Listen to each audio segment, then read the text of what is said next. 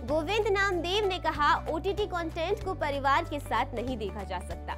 जी हाँ गोविंद नामदेव ने अपने रास्ते में वेब स्पेस के लिए बहुत सारे ऑफर्स देखे हैं। लेकिन अभिनेता ने ओटीटी प्लेटफॉर्म पर न्यूडिटी और गौर दिखाए जाने के कारण उन्हें ठुकरा दिया। हाल ही में हुई एक बातचीत में उन्होंने कहा, ओटीटी के पास कोई सेंसर बोर्ड नहीं होने के कारण जिस तरह के कंटेंट का निर्माण किया जा रहा है, उसका झुकाव फोनोग्राफी की ओर ज़्यादा है।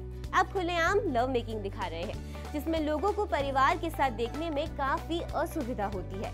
मेकर्स का मानना था कि ये बहुत अच्छा है। ये डाल दो तो लोग देखेंगे। इसलिए एक टाइम पर हर ओटीटी प्लेटफॉर्म पर इस तरह के कंटेंट की बहार सी आ गई। नामदेव ओटीटी पर दिखाई गई हिंसा और क्रूरता की ओर भी इशारा करते हैं और इसे बेहद परेशान करने वाला बताते हैं।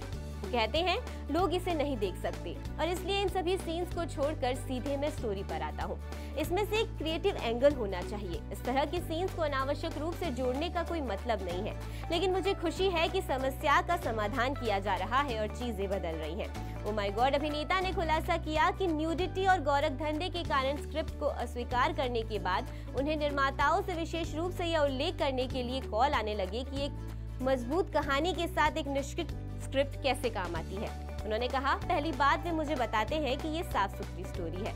यह कंटेंट सेंट्रिक है। एक बार जब मुझे इस बात का आश्वासन मिल जाता है तो हम बातचीत को आगे बढ़ाते हैं और कथानक अन्य अभिनेताओं और मेरे चरित्र पर चर्चा करते हैं। इसके अलावा मुझे ये भी बताया जा रहा है कि ओटीटी दिग्गज भी मेकर्स से कह रहे हैं कि वे ऐसा कुछ भी शामिल नहीं करना चाहते, जिससे उनके दर्शक असहज हो। इसलिए ये एक अच्छा बदलाव है। इस खबर में तो बस इतना ही। आपका इस खबर पर क्या कहना है और आपको ये खबर कैसी लगी, हमें कॉमेंट सेक्शन में ज़रूर बताइएगा।